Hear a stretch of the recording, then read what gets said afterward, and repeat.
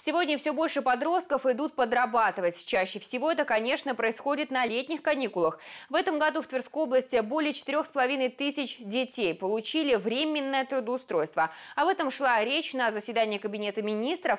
Власти обратили внимание на улучшение системы трудоустройства несовершеннолетних. Какие меры были предложены, узнали наши корреспонденты. Летний период для школьников – это не просто время, когда можно ничего не делать и гулять. Современная молодежь все больше начинает искать подработку и пытается самостоятельно заработать деньги на свои расходы. Работа летом позволяет им проявить свою самостоятельность и зрелость. Заработанные своим трудом деньги представляют для подростка большую ценность, чем полученный даром. Работа позволяет ребенку приобрести товары, которые родители в настоящее время купить ему не могут или не считают нужным. Учиться планировать бюджет эффективнее на средства, которые заработал сам. В этом возрасте дети начинают пробовать на вкус профессиональную деятельность. В основном ребята работали. Это подсобные работы, это сборщики, комплектовщики. Большое количество ребят набирает операторами ПК.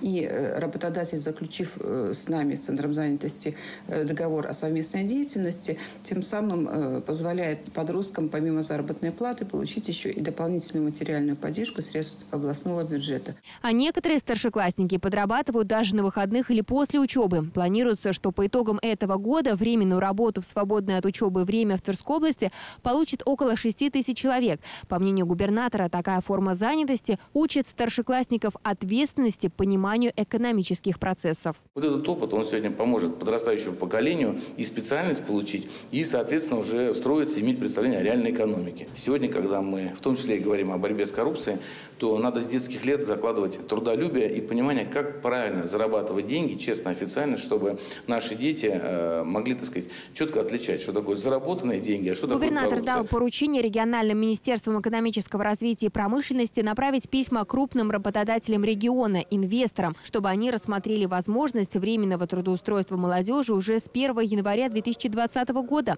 Также активное участие в обеспечении сезонного трудоустройства подростков должны принять главы муниципалитетов. Главное, чтобы это было сделано не формально на бумаге для отчета, а действительно эффективно заработало.